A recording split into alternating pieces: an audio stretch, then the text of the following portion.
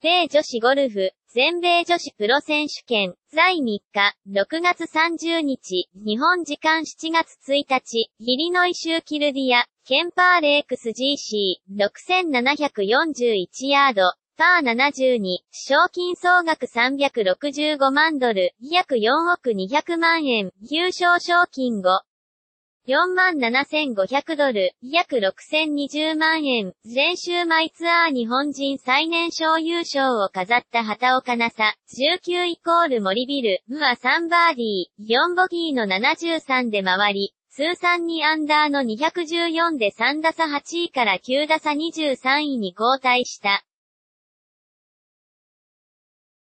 気温は35度まで上がり、アメリカではこれまでやった中で一番暑かったと思います。集中するのも大変だった。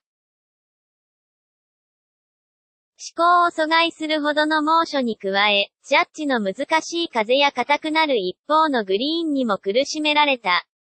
風を読んで、手前から行っているつもりなんですけど、キャリーでピンまで行ってしまって奥に外すっていうことが多かった。その奥からのアプローチが、すごく難しかった。バーディー直後の7番パー5では奥からの寄せがグリーン手前のカラーまで転がり、返しの5メートルを外してボギーとした。予選ラウンドの好プレーを支えていたグリーン上でももどかしさが募った。